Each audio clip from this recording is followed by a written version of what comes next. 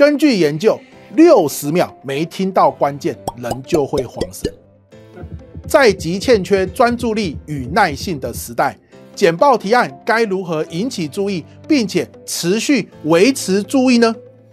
我是曾培佑，一位注意力设计师，不止出版书籍，每年有超过百场的演讲，教导各企业主管、业务与老师们如何透过简报表达产生影响力。这堂课程我将分享吸睛的秘诀，教给你简报思维，逻辑化加速简报制作与表达关键，让努力能完美呈现。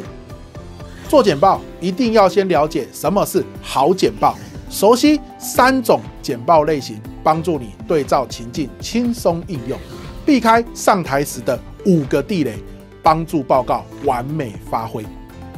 课程带你从简报思维出发。